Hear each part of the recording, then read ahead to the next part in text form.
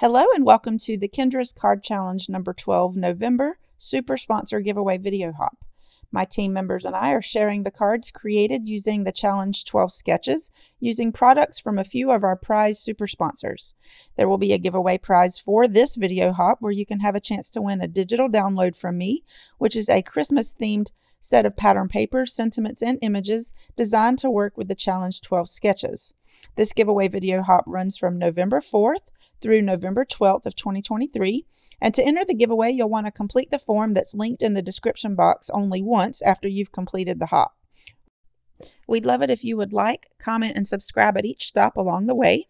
Now, if you're new to my channel and not familiar with my quarterly card making challenges, it's where you can make 15 cards using just six sheets of 6x6 pattern paper with little to no scraps. Plus, you can have a chance to win lots of prizes by sharing your creations throughout the quarter. Now, the quarterly challenge runs from October 1st to December 31st of 2023, and we have 20 company prize sponsors with, with over $1,000 worth of prizes that will be given away. You can download the free printable over on my website, kendrascardchallenges.com. I invite you to watch my challenge introduction video that explains all about the challenge in a little more detail and shows how to cut the papers using the cutting guides and how to enter. This is linked above and in the description box below. The super sponsor that I will be featuring in my video today is Not Too Shabby Shop. I am a guest designer for them this month, and I recently shared an unboxing video of their November box of the month, plus another video showcasing 24 cards that I made with it.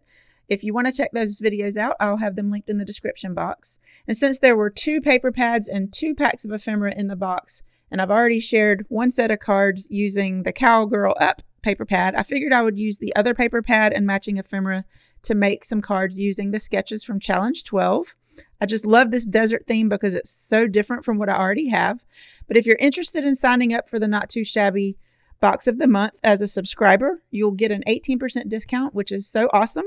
I'll have a link to the Not Too Shabby Shop online store in the description box below in case you'd like to make a purchase. This is an affiliate link, which means I earn a small commission at no extra cost to you and this helps to support my work. But any support you can give is greatly appreciated and it helps to keep my challenges free each quarter. Now, this paper pad has some beautiful desert themed designs and it's made with thick, high quality cardstock. There are 12 different designs of double sided papers in the desert landscape paper pad. And here's a quick thumb through. I also pulled some coordinating cardstock from my stash, and these include Rococo Rose, Very Vanilla, um, Garden Green, petal pink and seaside spray and some mint macaron and also chocolate. Now all of these are from Stampin' Up. Plus I have some textured ivory cardstock by Bazzill called String of Pearls. And these matched all of the colors in the paper pad really well. Now this is the PDF printable for this quarter that you can download for free. All of the information about the challenge can be found at kendrascardchallenges.com, like I mentioned before. But the first three pages show the cutting guides for six sheets of pattern paper. They are color coded, so it's easy to tell which pieces go with each of the 15 card sketches. There are a few cutting guides with circles on them, so you will need either circle punches or circle dies, or you can even find round objects to trace and cut out by hand. But each of the cutting guides have scissors that show where you make the first cut and there are circled numbers which indicate which card sketch that that piece goes with. You're going to first pick out pattern papers that coordinate well together and then use these cutting guides to cut them out. Now, I recommend having 15 bags or envelopes or something to put the pieces in to keep things organized as you're cutting the pieces. And then you'll use the card sketches to uh, cut your layers. Now, there are measurements for all of the pieces. So if you wanted to use one of the card sketches by itself instead of making all 15 cards, you have everything you need right there. But as you can see for cards one and two, these have papers from A and B. You can use colored cardstock or additional pattern paper for any black, white, or gray pieces shown on the sketch. And now some of these sketches have notes such as using an embossed, stenciled, or patterned panel, but these are just suggestions to help give the card some interest. You don't have to follow the sketches exactly. They're just a jumping off point to get your creative juices flowing. You can always turn the orientation of the card. Now this particular challenge has a lot of circles, but you can always change the shapes if needed. The bottom section has instructions and tips, and the last page has a quick reference guide that you can easily see which pattern papers will be used together for each of the 15 card sketches. It also has a list of all the Challenge 12 company prize sponsors and information about my Patreon membership program and the benefits you can receive by becoming a patron. Now, off camera, I went ahead and cut my papers and sorted them into cellophane bags and cut all of my layers and selected what images I would use for each one of the 15 card sketches.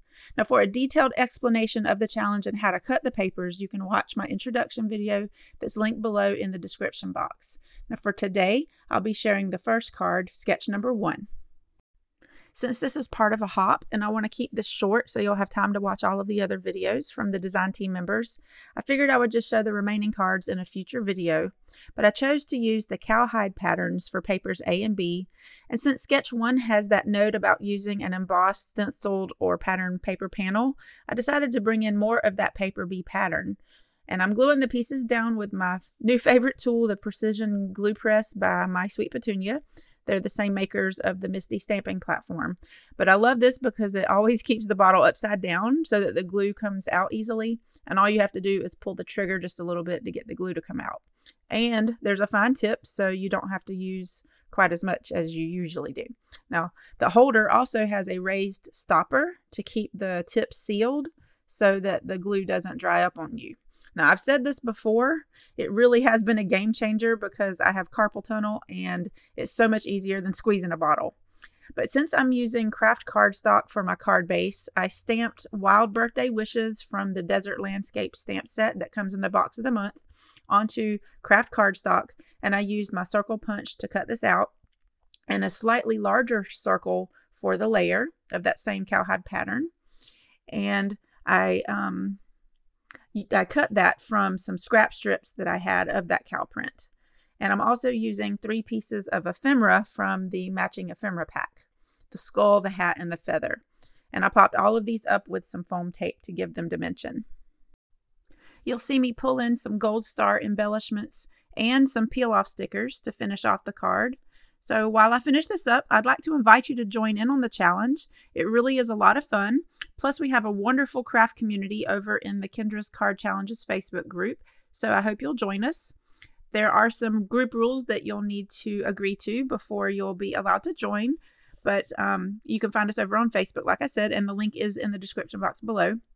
And remember to enter the giveaway, complete the form in the description box when you're done watching each of the videos in the hop. And then after the hop ends on November 12th of 2023, the winner will be posted on my community tab on the Cards by Kendra YouTube channel. And here is the finished card. I just love how this turned out, and I like that it can be used for a man or a woman or a boy or a girl. You'll have to stay tuned to my channel to see the remaining cards that I made with this paper pad and ephemera pack using the Challenge 12 sketches. You will find the next video for this giveaway hop at the top of the description box below. And I'd like to take a moment to thank Not Too Shabby Shop for allowing me to be a guest designer this month to create with this amazing box. I'd also like to take a moment to thank all of the company prize sponsors and all of my patrons. I couldn't do this without your support.